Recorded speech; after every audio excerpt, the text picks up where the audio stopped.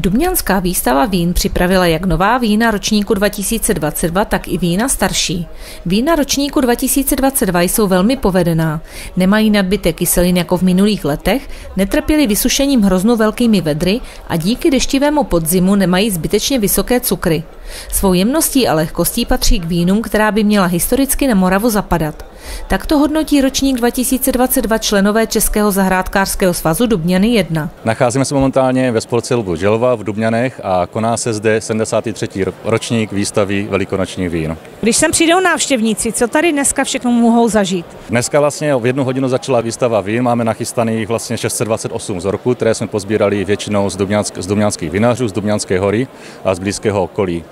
Momentálně vlastně tady vystavený 445 vzorků bílých vín, 42 vzorků růžových vín a 142 vzorků červených vín. Zapojila se nám do výstavy cirka 220 vinařů, kteří poskytli vlastně vzorky na tuto výstavu. Jaké podmínky vlastně mají vinaři, když se chcou zapojit tady do eh, vaší velikonoční výstavy vín?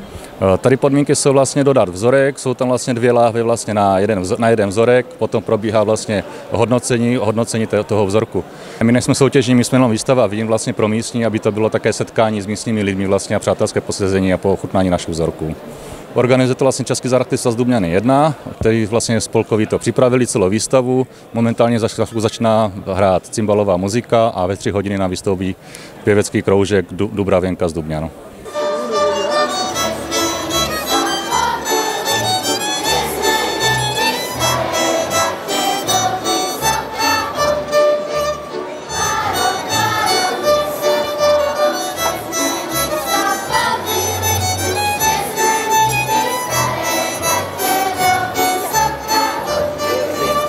Na výstavě byli přítomní členové Českého zahrádkářského svazu Dubňany 1 a tak jsme se zeptali jednoho z nich, pana Libora Výlety, jak by zhodnotil ročník 2022 v oblasti Dubňanské hory. Samozřejmě záleží na vinařovi, jakou zvolí technologii, protože tady jsou vína prezentovaná už některé v čistém stavu, ale samozřejmě pokud někdo pracuje s nějakým eh, sudem, jo, tak je to ještě poměrně brzy, tak třeba já osobně nevystavuji ještě vína červené ročníku 22, protože je mám zrají na sudech. A samozřejmě bílá vína už jsou většinou vyčištěná, jsou připravena k lavování. Trošku negativně byl poznamenán ten začátek vinobraní těma srážkama, které přišly na přelomu srpna a září, ale samozřejmě potom to všechno dohnalo ten suchý říjen, co byl, kdy nám chyběly srážky, tak potom ty cukernatosti došly, ale zase nejsou to vína, které by byly eh, s vysokým zbytkovým cukrem, protože ten cukr byl někde pozdní sběry, výjimečně výběry. Dalšího člena, pana Petra Příkazského, jsme se zeptali, jaká je typická odrůda oblasti Dubňan. Tak eh, z těch starších odrůd je to zejména najburské, které je typické pro Mutěnickou oblast, ale v poslední době tato odrůda má problémy se zdravotním stavem, takže se ani nemnoží materiál a dá se říct, že víceméně ubývá těch ploch tady této odrůdy takže najburské pro naši oblast. Potom z těch dalších to může být Riesling vlašský, Riesling grinský, Rulánské bílé, ale toto je takový ten základ, který by tady v této oblasti se měl pěstovat. A opět vyrážíme do davu poptat se návštěvníků, jaká vína upřednostňují. Odkud jste přijela? Přijela jsem z Ratiškovic. Chodíte pravidelně na tuto velikonoční výstavu vín? Když se mě podaří, tak obyčejně ano. Jaká vína upřednostňujete jako žena? Takové ty polosladké, záleží na tom, které to je. Ehm, bílá skupina, červená je takové těžší pro mě. A oblíbená odrůda?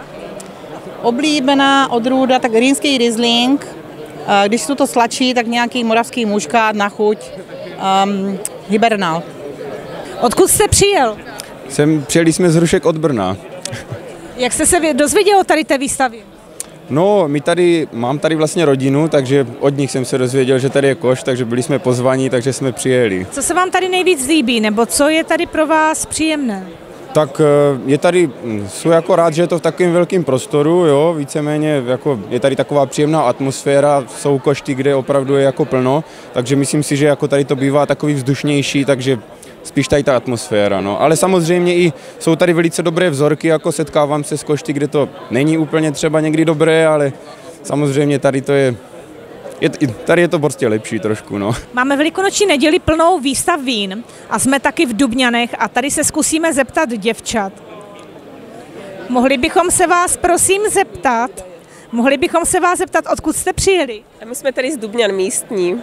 Eh, Jezdíte nebo chodíte pravidelně na košty vín? Ano, jsem konkrétně pravidelně, ano. Eh, Věnujete se víc vínu? Uh, tak přes den, přes víkend. Teď nemyslím jako, že... Ale jestli jste třeba vinařka, jsem myslela. A mám rodinu vinařů, takže jako ano, máme k tomu blízký vztah. Co se vám nejvíce líbí na koštu v Dubňanech? Ta atmosféra, ty lidi, kontakt s lidma. Jaká vína jako žena upřednostňujete? Uh, teď ráda červené a slačí. Já mám ráda hibernál například, nebo tramín, takové voňavé vína. Navštěvujete košty i jinde, anebo zůstáváte věrní Dubňanu? Zůstáváme věrní. Co byste popřál vám vinařům ve sběru ročníku 2023?